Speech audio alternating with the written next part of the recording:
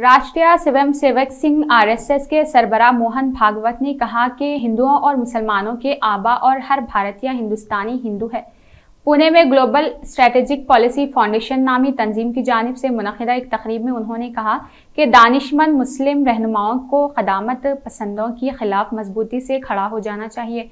भागवत ने कहा, लफ्ज़ हिंदू व मादर वतन, आबा वजदाद और हिंदुस्तानी सकाफत के मुशाबा है। ये दीगर नज़रियात की बेहरमती नहीं है।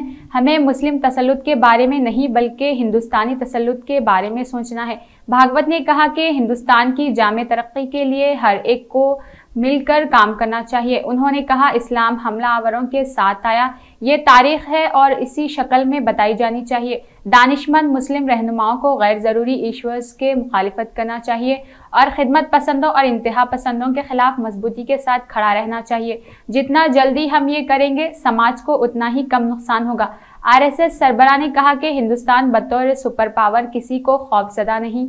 करेगा। उन्होंने कहा, हिंदू वो हमारे मादर वतन, आबा वजदाद और हिंदुस्तानी सकाफत की वारिसियत के ख़जाने के मुशाबा है और हर हिंदुस्तानी हिंदू है। हिंदुओं और मुसलमानों की आबा वजदाद एक ही थी।